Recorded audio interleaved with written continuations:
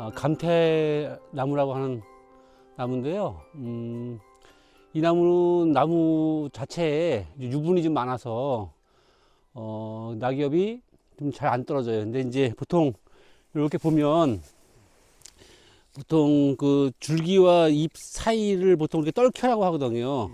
그 떨켜 부분이 발달하지 않아서 이제 이 올라오는 영양분 같은 경우들을 이 나무 잎이 어느 정도 머금고 있는 거죠. 계속 조금씩 조금씩 영양분을 공급을 해요. 그 이유가 뭐냐면 요 잎과 줄기 나무 사이에 보면 겨울눈들이 좀 올라오고 있잖아요. 이렇게 요 겨울눈을 보호하기 위한 장치이기도 합니다. 이게 그래서 이 감태나무가 가지고 있는 가장 큰 특징은 이 겨울눈을 보호하기 위해서 잎을 이른 봄까지도 떨기지 않아요. 그러니까 이 어, 겨울눈이 이제 새싹이 돼서 잎으로 만들어질 때까지는 잎을 달고 있는 아, 아주 모성애가 강한 그런 나무라고 볼 수 있고요. 어, 이제 검, 그 감태나무라고 하는 이름이 붙은 이유는 이게 이제 나무가 사실 검은 때가 많이 묻어 있듯이 보여요. 그래서 검은 검- 때? 예, 예. 그래서 그 검은 때가 있는 나무. 그래서 그걸 이제 의- 의미 변해서 감태나무라고 변했다고 하는 설이 뭐 가장 많이 음, 우리가 이제 알고 있는 그런 내용입니다. 그또 이렇게 예. 이 나무처럼 잎을 오랫동안 떨구지 않고 겨울에도 붙여놓는 다른 종류의 나무가 있을까요?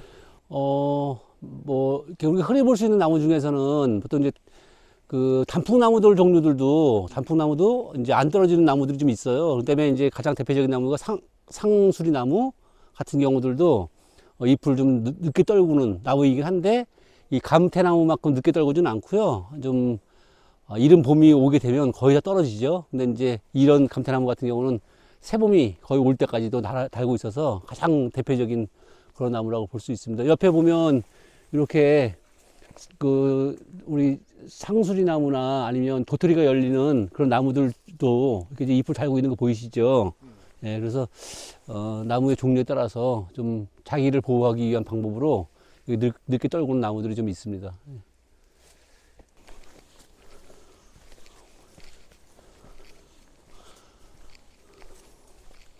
어, 감태나무는 나무 자체가 철분 성분을 많이 가지고 있어서 이 번개나 이런 것들을 치게 되면 그 전기를 빨아들이는 힘들이 좀 있나 봐요. 그 나무들이 사실 온전하게 잘 크지 아- 못하는 경향들이 있는데 요 앞에 있는 감태나무를 잠깐 보시죠 한번. 보면 감태나무 줄기들이 이게 다 터져 있죠 이렇게.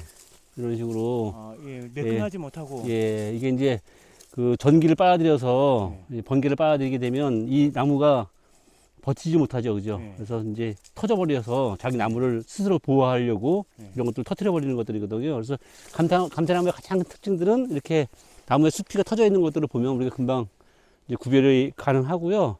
이 나무는, 음, 예전에는 이렇게 이런 모양들이 많으니까 나무 지팡이를 쓰게 되면 지팡이가 굉장히 예뻐요.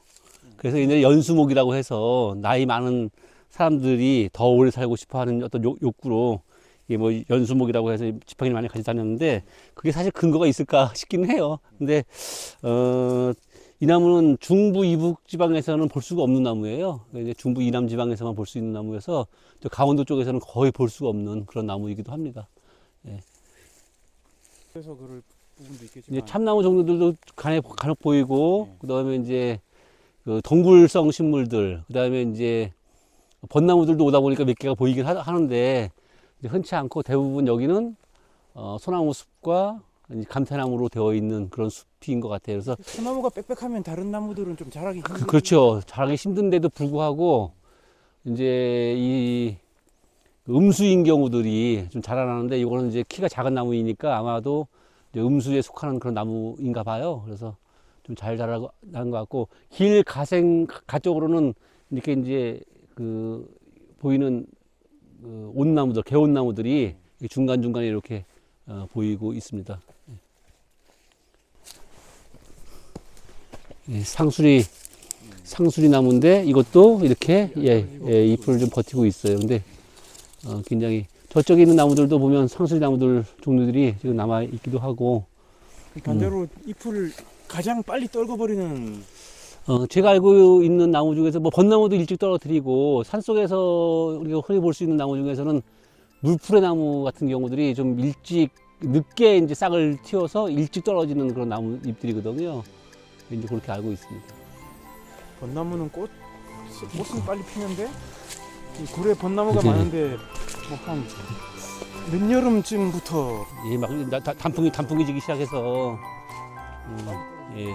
이제 산속 같은 데서는 이제 산벚 같은 경우들은 음, 이 우리 들에서 이제 기르는 그런 벚꽃나무하고 좀 달라서 어떤지 모르겠는데 어, 이 물풀의 나무는 좀 빨리 떨어지는 그런 경향이 있습니다.